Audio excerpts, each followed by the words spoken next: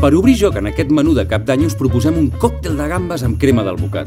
La frescor de la magrana, la untuositat de l'alvocat, l'acidesa i aromes de la llima, la textura cruixent de l'escarola i el punt de sal dels festucs. Fàcil i agraït. Descalça l'alvocat amb una cullera, ratlla-hi la pell i afegeix el suc de llimona. Tritura amb la batedora fins a obtenir una crema llisa que ja no s'oxidarà. Vola mitja magrana cap per avall sobre un bol i colpeja-la per saltar-li els grans sense cap esforç. Talla la ceba tendra a discs, el tomàquet i els festucs pelats. Ara lleva la closca dels llagostins i escapsa'ls per matisar-los. Aquesta carn, però, esqueixa-la per al tartar.